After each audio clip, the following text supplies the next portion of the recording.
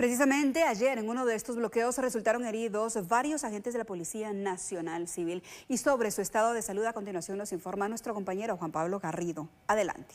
Me acompaña Pablo Castillo, portavoz del Ministerio de Gobernación, quien compartirá con nosotros información relacionada al estado de salud de un agente de Policía Nacional Civil que resultara herido ayer en el departamento de Chiquimula. ¿Cuál es la información que se tiene relacionada al estado de salud de este compañero de Policía Nacional Civil? Efectivamente, pues este es un hecho lamentable que ocurre ayer eh, a inmediaciones del puente Jupilingo en el municipio de Camotán, departamento de Chiquimula, cuando nuestros agentes de Policía Nacional Civil intentan dialogar con los manifestantes para que pudieran dejar el paso expedito para una ambulancia que traía una emergencia. Sin embargo, pues fueron agredidos con piedras, palos y machetes algunos de nuestros agentes de policía, resultando herido el comisario Zapinel Hoch, el jefe también de la subestación local y una agente de Policía Nacional Civil que fue gravemente lesionada en la cabeza.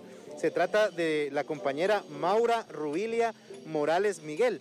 Ella fue trasladada por la gravedad de las heridas hacia el IC 719, donde anoche fue intervenida quirúrgicamente ella eh, fue trasladada al servicio de cuidados intensivos y se encuentra después de la cirugía estable, pero está siendo monitoreada porque su estado de salud es bastante grave, según lo que han informado pues, eh, los médicos de este centro asistencial.